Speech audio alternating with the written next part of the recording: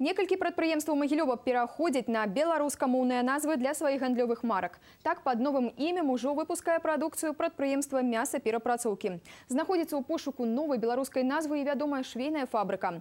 На якія эканамічныя дывідэнды разлічваюць вытворцы, высвятляла Ганна Лапо. Бренд павінны быць такім, каб спажывец яго лёгка пазнаваў. Лічыцца, што змена назвы і лагатыпа шокатэрапія для вытворцы і цягне за сабой дадатковую фінансавую нагрузку. На магілёўскім прадпрыемстве мясаперапрацоўкі мяркуюць па-свойму. Мы не боимся затрат больших. Это на нашем предприятии никак не сказались, большие затраты. Э, І на цене продукции. И на цене продукции абсолютно не сказались. Мясныя вырабы пад новай гандлёвай маркай на беларускай мове паспелі ацаніць пакупнікі ў расійскім Новосібірску.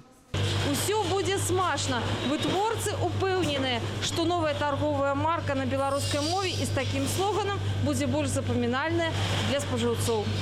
А вось для вядомай магілёўскай швейнай фабрыкі рэбрэндинг і ў перспектыве пошук новай назвы мера вымушаная. Прадпрыемства праходзіць працэдуру санацыі. Аздаравіць вытворчасць плануюць за паўтара гады. Планируем э, провести ребрейдинг торговой марки, определенную выработать философию для повышения имиджа бренда и тем самым э, выстроить новые маркетинговые коммуникации канала сбыта и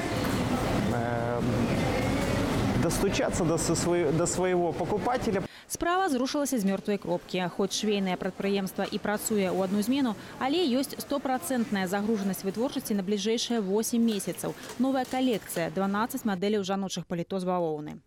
На названых прадпрыемствах упэўненыя гаварыць з пакупніком можна і патрэбна на роднай мове.